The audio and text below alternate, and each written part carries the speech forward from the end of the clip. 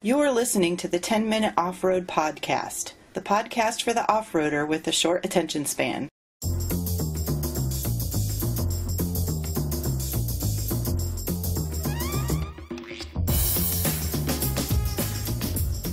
All right, welcome to the 10 Minute Off Road Podcast. I'm your host, Nikki G. I'm going to do something a little different this week. I'm going to try recording the podcast as I uh, drive on my way to work. And I, I hope this turns out all right. Oh my God, will you look at the pair of. All right, on second thought, I think we should finish this up in the uh, 10 Minute Off Road Podcast studio. All right, so this week I want to talk about food and what you eat out on the trails. I can tell you, I eat a peanut butter and jelly sandwich, anything that doesn't really require refrigeration. I pack uh, instant mashed potatoes, ramen noodles, uh, oatmeal, anything I just boil water and add to and eat. I, I don't go fancy. I'm out there for the friends and fellowship and the wheeling, and uh, the food's kind of second. And also, because some people go full tilt and make fancy meals and they share it. You know, everybody always makes a chili or a stew and shares it. And so I pack light and I get I get fed anyhow. So uh, thank you for all you people that feed me, and now you, now you know my tricks. I guess it just goes back to like hiking. I travel light. Any I don't want to carry anything heavy, even though it's it's all in my Jeep. I just throw a few things in, and uh, and I have a pretty good cooler, but I I don't want nobody likes soggy cheese. So I, I tend for the, the just the dried stuff that I could just add water to. Uh, Mountain House meals, the little packets that you just add water to, they're pretty good. But that's what I like to eat. And like I said, I am a garbage truck. I will eat anything. You could buy a pizza and eat that pizza and give me the box it came with, and I will enjoy it. I just, I'm just that way. It's real hard for me because I'm redneck, so I'll eat anything that doesn't move, and even some things that do move. But I'm also Italian, so I have a love affair with food.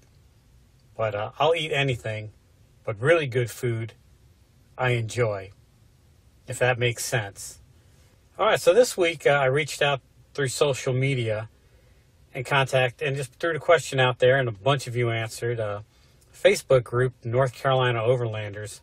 Bunch of people commented and showed me mad support and uh, congratulated me on starting a podcast, and I, love the support, guys. Thank you very much.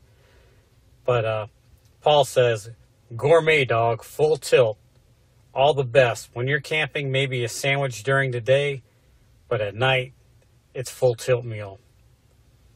Thank you, Paul. I appreciate it. And then uh, a bunch of people on the North Carolina Overlander Facebook group just sent me out words of encouragement about the podcast, and thank you very much. I appreciate it, guys. All right, and William over at XJ Nation says hot dogs on a Weber Baby Q. You know, I I've never been a fan of hot dogs unless it's a Nathan hot dog. For some reason, those things are delicious. Everything else just tastes like bologna to me. That's just me. I'll eat a hot dog and I'll enjoy it, but I won't go back for fourths or fifths. So I turn to my friends at uh, 4X Tubers Facebook page. That's uh, you, a YouTube, a Facebook page for four wheel drive based YouTubers. It's run by Nate at SWB Crawling. Thank you, Nate. But I posted on there this week. I'm talking about food on the trail. Do you pack PBJ sandwich or go full blown gourmet meal? And Ben said, easy food, sometimes trail tacos. I'm gonna have to Google that because uh, trail tacos. There's no such thing as a bad taco. Nothing fancy. Lots of cooking supplies in the back of the Jeep is annoying when you're hitting harder trails. Guess it depends if you're going wheeling or just camping on trails or some trails. I might have read that wrong, but hey, I get what he means. If he's going on hard trails, he's packing light. If he's going camping, he's bringing the, the good stuff. Okay, Eric says, I'm lazy. PBJ and iced tea and chips. I'm with you there, man. PB&J is delicious.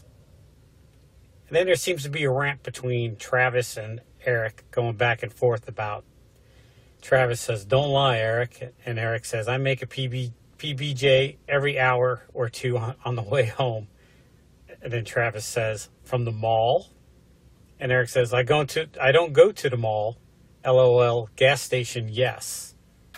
And then Travis replies, Well, we know it's not the woods. Eric replies, Not in the past few years. Ha ha ha. So uh, I take it you guys know each other and having great fun, and I appreciate it. And I appreciate the input. I enjoy reading it. I love the back and forth between people. I don't know if that makes me an internet troll or not. It probably does. Now it's time for the question of the month. And the question of the month is Does pineapple belong on a pizza? And I gotta tell you, I went to uh, the 4X Tubers Facebook page for this. I got an overwhelming response. Thank you, everybody. It looks like it's mixed between uh, half and half for yes and half for no. Uh, it's a very heated debate. It gets uh, very emotional. All right, Kara says F no. Mark from FM Jeeping says absolutely. The bearded Jeeper says yes. Eric says yes. Tony made a Don Ho, Don Ho comment, only if you're Don Ho. And then it just that that that, that thread just kind of went downhill fast. Uh, Clint from Project Napalm JL says no. And then Kara says, Yay, I'm not the only one. And then Misty goes the political correct way. It says, hashtag your pizza, your choice. And I agree with you. Eat your pizza whatever, whichever way you want. If you invite me over for dinner and you ask me what I want on my pizza, I'm going to say anything but pineapple. Fruit does not belong on a pizza unless it's a dessert pizza. And I know that goes into the whole topic. Well, tomato is a fruit, but we we just go down there. it just goes downhill from there. All right, Misty also says this question is like asking Taco if Taco Bell is good Mexican food or if Angry Eye Grills are cool. Boy, that is a subject for another podcast. I do not care for the Angry Eye Grills. People love them, and I applaud your choice. And it's your Jeep, your build. You do what you want. But if I ever got a Jeep, uh, Angry Eye Grills are not going on it. If I got a good deal on one, I'm taking the Angry Eye Grill off and putting stock on it. Sorry, I'm just, uh, that's just the way I am. And uh, Misty also says, I say your pizza, not mine.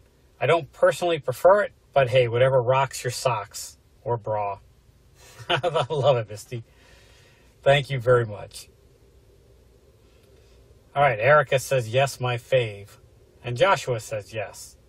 So I lost count, but it's it seems like it's about half and half, and that's a debate that will go on forever, or at least on, or at least until the end of the month. If you'd like to contribute on all the fun, uh, follow us on the Instagram, Twitter, Facebook. We even got a YouTube channel thing, but we're not fancy enough to have. Uh, a dedicated YouTube name yet, but it's coming. It will be there. I just need 50,000 more subscribers.